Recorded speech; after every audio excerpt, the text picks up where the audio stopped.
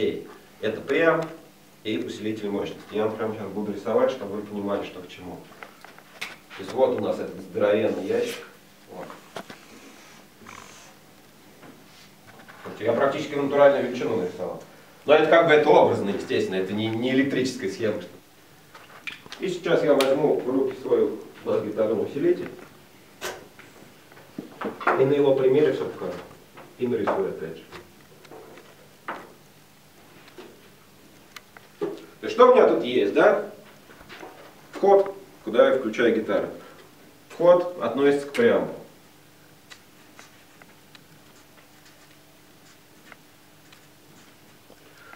Что у меня еще есть? Эквалайзер есть. Эквалайзер тоже находится в преамбе. Что у меня еще здесь есть? Это выходы уже на кабинет. Балансный выход. Он, это разъем XLR, такой же, как на микрофоне, в котором подключается микрофон. Для чего он нужен? Это он нужен для озвучки уже в зал. Собственно, теперь самое главное, что же такое прям, что такое усилитель? Прям это место, где происходит предварительное усиление вашего звука. То есть из гитары звук выходит довольно-таки тихий. И вот этот преамп, он его уже собирает, формирует. И самое главное, именно в преампе происходит формирование уникального звуч звучания усилителя. То есть почему там, например, там усилитель Marshall звучит так, а усилитель там, там Pivi, Tangle, Fender, там звучат все они по-разному. Принципиальная разница именно в схемах преампа. Усилитель мощности, да, грубо говоря, Туда поступает уже просто уже готовый сигнал, и вот этот усилитель, он его просто разгоняет по громкости уже. То есть ручка волум, она уже вот на него работает. А. Также, что здесь есть интересного? Здесь есть, здесь, есть, а, вот, да? Такая штука называется Send Return. Сейчас я вам расскажу, что это такое. Send и Return это разрыв между преампом и усилителем. Вот. То есть, если вы воткнете сюда в кабель, да, что шнур обычный джек, и воткнете его в какой-нибудь, а, ну, какую-нибудь колонку, которая способна воспроизвести звук, вы услышите звук из преампа. То есть звук вот он, как я стрелочку нарисовал, он из сенда этот звук выходит. Ретерн, в него звук входит обратно. То есть если вы, например, возьмете но гитару, если в ретерн воткнуть, вы ее практически не услышите. Если возьмете гитар, э, гитару через какую-нибудь педаль, включите в ретерн, вы звук свой услышите. Это будет работа исключительно усилителя. Для чего это нужно, я вам расскажу чуть позднее. И, собственно, теперь по ручкам, которые есть на моем усилителе. На моем вообще, на любых, на гитарах. Первое, на что мы обращаем внимание, это ручка гейн. А, она регулирует входной, э, громкость входного сигнала. То есть, когда вы разгоняете, вы делаете больше, звук проходит больше, больше, больше, больше. И на гитарных усилителях, когда вы это крутите, крутите, крутите, у вас появляется вот этот самый ваш GGG, ваш перегруз. Главное, что сделать, это не перегрузить усилитель совсем. Это важно. Особенно, если у вас под ногами находятся какие-то педали, которые тоже усиливают звук. Самое главное не пожечь просто вход. Вот. Для, на басовых усилителях есть, ну вот у меня в данном случае кнопка переключения пассив и актив. То есть если я включаю пассивный инструмент, в котором нет ни батареек, ничего, я эту кнопочку отжимаю. Если я включаю, на нее нажимаю, это вот нажимаю я кнопочку для активного инструмента, и он как бы чувствительность автоматически понижает. Эквализация. Те же самые. Эквализация может быть абсолютно тоже по-разному реализован. Например, на этом усилителе вы также видите просто нижние частоты, средние частоты и верхние частоты. Вот, грубо говоря, это четыре ручки я вам нарисовал. Эта ручка также регулирует работу низов, эта ручка также регулирует верхние частоты. А вот эти две ручки, они работают в паре. Вот эта ручка, она выбирает какую-то конкретную частоту. А этой ручкой да, вверх или вниз. Таких может быть две пары. Также, как еще может быть реализован эквалайзер? Он может быть реализован в форме ползунков таких. Вот, это как вот вы дом вина подкрываете, там такие же ползунки. Гитарная голова здесь, она у нас сколько? Раз, два, двухканальная. Трех. Трех даже? Да, Серег, трех, ты прав, да. Ну, как бы основных-то два, третий он такой. Третий пляж от второго. То есть здесь вот, видите, блок чистого сигнала, опять же входной гейн. И здесь этим входным гейном, э, он такой, как, как сказать, маленький, то есть прям да, вы не догрузите. Он так слегка начнет подхлипнуть. И опять же частотная регулировка. Вверх, середка, низ. И грязный канал, то есть перегруженный. Опять же ручка гейна, то есть вот эта часть, вот эта часть и вот эта часть, она друг от друга никак не зависит. Опять же, входной гейн, который уже здесь такой серьезный. Вот. Вверх, середина, низ и громкость канала. А, видимо, для того, чтобы э, согласовать по громкости чистый канал грязный канал, вот на грязном оставили громкость и все. Тонкат, ну что-то она подрезает. Таких вот, кстати, ручек, как тонкат, такого типа, я имею в виду с не, с не очень понятным на слух названием, их может быть очень много. Встречается там на усилителях, вот там на басовых ручка дип есть, там глубина. То есть каждая фирма, она какие-то свои такие штуки ставит, ну либо не ставит. У каждой фирмы это чуть-чуть по-разному трактуется. Вот. Ну и, собственно, ручка волн общая. То есть вот эта мастер-секция, которая работает и сюда, и сюда. Вы здесь видите два включателя.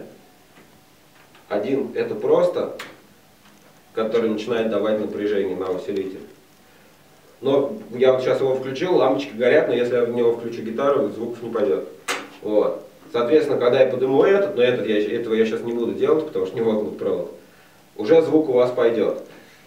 Здесь у меня, у меня тоже ламповая голова, но здесь это реализовали все в одной ручке. То есть она имеет не два положения, да, вот как здесь.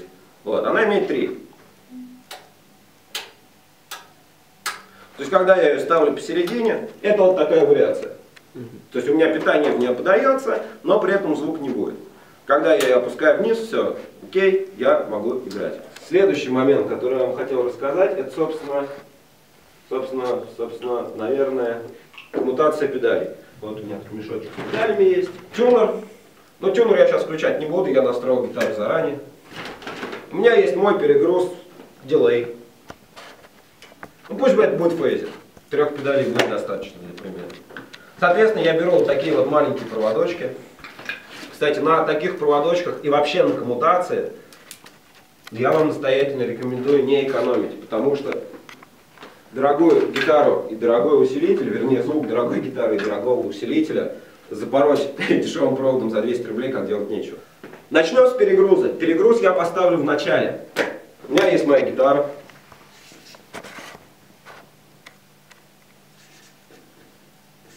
Вот, вот она, родная. Из нее я пойду в свой перегруз. Ну как, ну назовем овердрайв, да, там, чтобы так, более обобщенно. И я пойду сразу в инпут.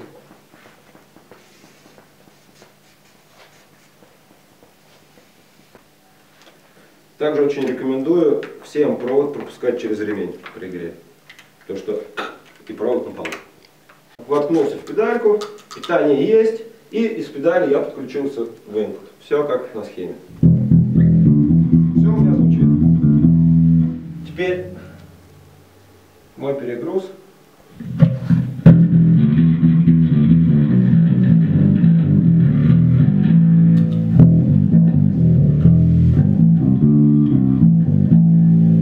Все у меня звучит. Теперь куда же мы будем девать вот эти две примочки, которые я достал? Я их не просто так достал. Вот. Примочки такого типа, как всякие реверы, дилеи, фейзеры, да, вот эти эффектовые все дела, их нужно ставить после прям, вот после вот этого прям. И именно для этого, для этих целей, выполнен вот этот разрыв send return. Он нужен именно для этих целей. То есть что я сейчас сделаю? Я сейчас возьму провод. То есть я пока вам нарисую. То есть я возьму провод, воткну его в, свой, в сенд на своем усилителе. Дальше я пойду в дилей.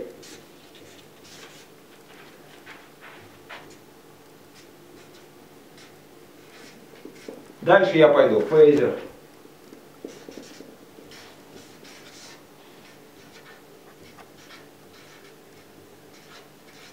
И дальше я могу идти куда угодно, этих педалей может быть миллион. Не суть важно. И дальше я с аутофейзера возьму провод и воткну его в ретерн. И вот у меня эта схема будет работать. Я беру шнур, вот, и включаю его здесь в стенд. И здесь включаю в обход педали. То есть, смотрите, еще такая штука. Э, на этой педали, ну не только на этой, не подписано, где вход, где выход. Но стандартно, справа вход, слева выход. Вот, значит, у меня вот этот провод выходит из стенда, я его включаю в input дилея. Включил. Out дилей у меня, соответственно, идет в input следующей педали. Ну и тут, как бы, в километрах прошел этих педаль, я беру еще один шнур. И значит, у меня вот output условно моей последней педали, я его втыкаю в ретер.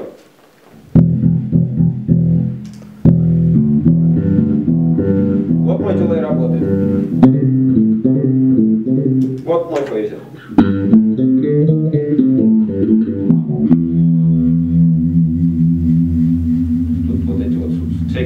Сумасшедшие.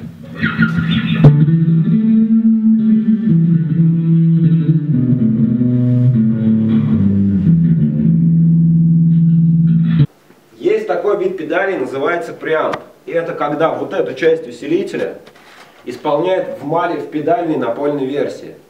Так вот, если вы являетесь обладателем такого вот замечательного преампа, он у вас лежит на полу, тема коммутации та же самая, вы свою гитару, вот вашу гитару, вы сперва втыкаете в те педали, которые здесь стояли бы до преампа. Дальше аут у вас идет, да, из преампа. Вы, вот у вас аут из преампа вышел, вы опять в него собираете дилеи, все вот уже эти эффекты. И дальше, уже когда вы подошли к моменту включения в усилитель, импутом вы уже не пользуетесь, вам он не нужен. У вас прям уже свой на полу. Вы свой вот этот провод, вот, вот этот провод, вы его сразу же втыкаете в ретерн. Тогда, скорее всего, все вот эти ручки, как входной клин точно отлетает, ручки эквалайзер уже на вас действовать не будут. Они вам не нужны. Вот. Может быть даже такой вариант, что ручка мастер не будет действовать, то есть что все ручки управления, они у вас отлетают. Если вы являетесь обладателем, например, вообще гитарного процессора, там, например, Line 6, да, у нас самая известная фирма, там у вас все эти дела, все эти дела, они уже собраны все в кучу.